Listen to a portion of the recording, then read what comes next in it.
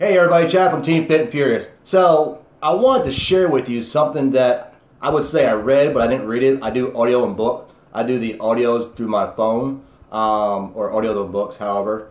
And by the way, this is going to be an unedited type thing because this is going to be just raw, just how I truly feel. Um, it was kind of enlightening and kind of motivating at the same time because it's so much truth behind this one statement. All right what it did, it just told me that the difference between people who are successful and the people who make changes in their lives compared to everybody else, it was such a great thing. So here's what it is.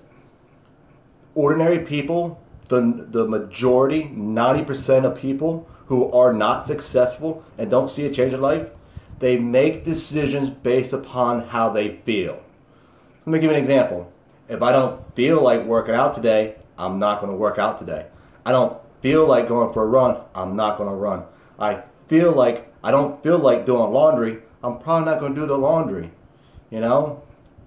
I feel hungry, so I'm going to go eat. You know? Whereas the people who are successful, they don't make decisions based upon how they feel. They make decisions based upon their principles and their commitments. For example, if I say to myself, I'm going to work out four times this week, guess what? I'm going to work out four times for this week, regardless of how I feel. That is such an enlightening thing because up until this point, I've been doing the same thing myself. And I'm sure that a lot of people like yourself has been doing that thing. You make decisions based upon, you, on how you feel. I'm going to go run tomorrow if I feel like if I feel okay to run. So you have to ask yourself that question. If you truly want to make a change in your life, are you going to continually make decisions based upon how you feel? Are you always going to wait for that perfect time, that perfect opportunity, wait for the sky is blue, unicorns and, and, and Skittles? Or are you just going to say to yourself today, you know what, regardless of the outcome, regardless of my environment, regardless of how I feel, regardless of whatever happens to me, I'm going to stick to my commitment because it's the principle of completing that. So if you say, I'm going to make a change, make a decision today. If you say, I'm going to go for a run tomorrow, run tomorrow, regardless of whatever happens to you, right? You can always find that time. We constantly find excuses as opposed to reasons. The excuses is based upon how you feel. Reasons is based upon the principles, your commitment. So take time to ask yourself this.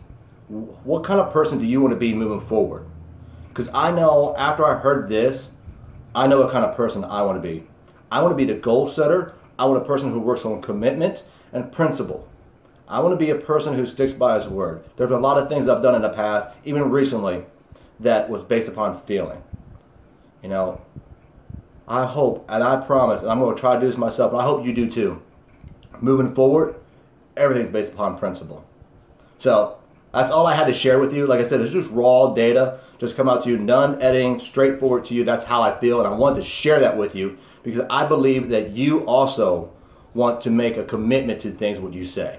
You also want to stop doing make decisions based upon feelings. Hey, if you're interested into just hey joining me on a lifetime of adventures doing losing weight, getting healthy, and possibly helping other people, reach out to me. I'd love to hear from you. I'd love to have you a part of our team. All right. Hey, Chad for Team Furious. I'll talk to you later. Peace out.